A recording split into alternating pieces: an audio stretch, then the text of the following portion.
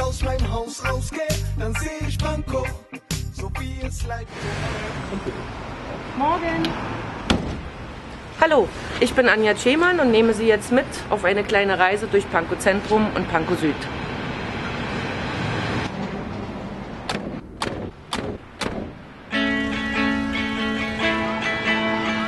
Wir beginnen unsere Reise in Pankow Süd. Diese Region ist fast so etwas wie eine kleine Enklave, die sich zwischen dem nördlichen Prenzlauer Berg und Pankow Zentrum befindet. Im Stadtbild überwiegen Plattenbauten und ehemalige Mietskasernen.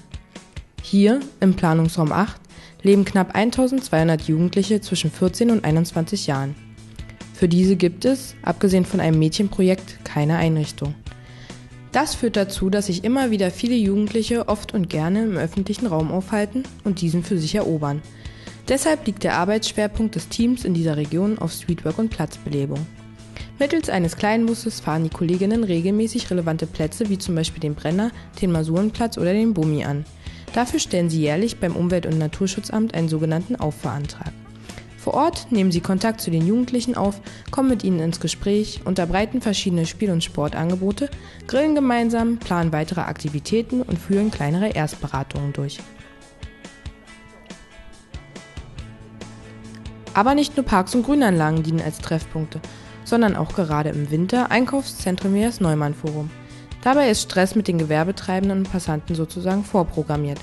Deshalb ist das Team hier ebenfalls regelmäßig unterwegs und bietet den Jugendlichen Aktivitäten wie zum Beispiel Bowling, Kinobesuche oder Indoorsport an.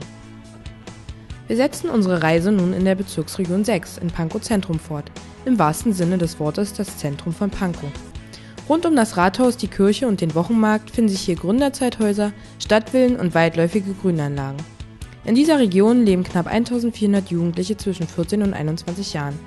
Für diese stehen vier Einrichtungen zur Verfügung. Trotzdem gibt es auch hier magische Anziehungspunkte für so manchen Jugendlichen. Im Bürgerpark ist das Team regelmäßig an der dortigen Skateranlage anzutreffen. Gemeinsam mit Jugendlichen und Coolhouse-Boarding organisieren die Kolleginnen hier seit fünf Jahren jährlich den Skate-Contest Jump in the Park. Von Seiten der Jugendlichen kam die Anregung zur Neugestaltung der Skateranlage, woraus sich im Laufe dieses Jahres die Kampagne Neuer Skatepark Pankow entwickelte. Dazu treffen sich einmal im Monat engagierte Jugendliche mit dem Team zum offenen Projektbüro im Café Mouflon. Das Café Mouflon wird den Kolleginnen für Gruppenaktivitäten durch das Bezirksamt Pankow zur Verfügung gestellt. Gemeinsam mit Jugendlichen haben sie es zu einem Wohlfühlort in Pankow gemacht, an dem verschiedene Aktivitäten stattfinden. Neben dem bereits erwähnten offenen Projektbüro sind auch die Arbeitsgemeinschaften in Kooperation mit der Reinhold-Burger-Schule feste Termine im Café. So, Jungs und Mädels, Feierabend.